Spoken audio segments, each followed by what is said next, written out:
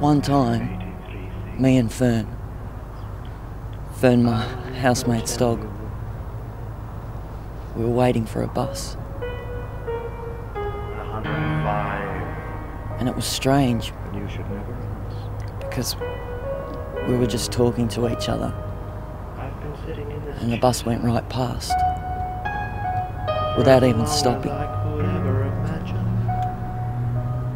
And all the other people, they were waiting for the city bus, so it didn't matter to them. Me and Fern, we wanted the other bus.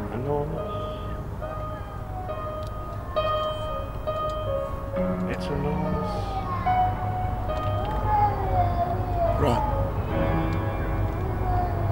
And I didn't know what to do. So what did you do?